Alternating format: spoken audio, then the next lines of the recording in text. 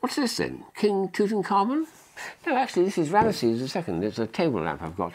What's strange about it is, although it doesn't seem to be, it's actually hollow. Look, if I turn it this way, that is a hollow nose going in. It's not sticking out. All this is a hollow space. It's a hollow mask. So what? Well, places like this, it's still nothing particular, but when I turn the light on, then, wow, what an effect.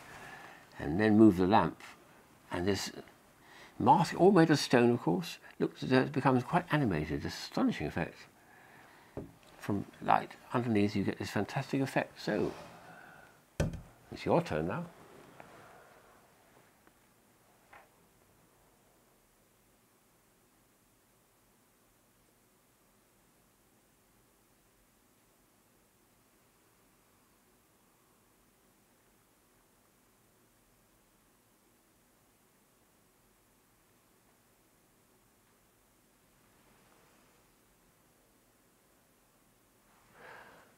Show's over, folks.